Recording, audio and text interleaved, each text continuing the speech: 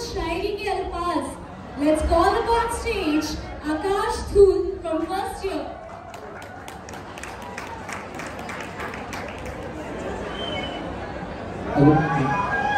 First of all, good afternoon, all teachers. And good afternoon, guys. Uh, कल शायरी के लिए sir ने जब बोला था कि शायरी बोलनी है तो मैंने मतलब लिखा हुआ सब कुछ है बट टीचर्स लोगों के लिए स्पेशली लिखा हुआ सो स्पेशल टीचर्स माता पिता के बाद जिनका स्थान है माता पिता के बाद जिनका स्थान है उनका चरित्र उत्तम और महान है ऐसे गुरु को मेरा शत नमन। ऐसे गुरु को मेरा शत नमन जिनके लिए हर बच्चा समान है। लाइक like, एक शायरी लिखी थी मतलब सुनी थी इंस्टाग्राम पर मैंने उसके ऊपर मैं लिख भी रहा हूँ।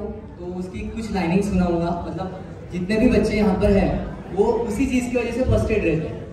तो स्टार्ट कर दो सर। करोगी मोहब्बत तो चेहरे पर उदासी छाएगी। करोगी मोहब्बत तो चेहरे पर उदासी छाएगी। जो छाएगी उदासी तो तुझे नींद ना आएगी। तुझे नींद ना आएगी तो तेरे चेहरे पर असर आएगा। तेरे चेहरे पर असर आएगा तो तू हमसे नज़रें चुराएगी फिर जाने कब तक हमसे मिलने ना आएगी? और तू हमसे मिलने ना आए ऐसे नौबती क्यों आए? हम चाहते ही नहीं कि तुझसे मोहब्बत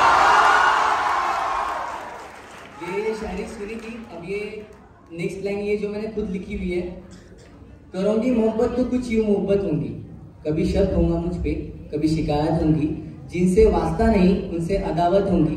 शहर से नफरत, दुनिया से बगावत होंगी। हम सह पाएँगे, तुम ना सह पाऊँगी कैसे जमाने की सितम उठाऊँगी? समझाएँगे घर वाले तो अपने घर लट जाऊँगी।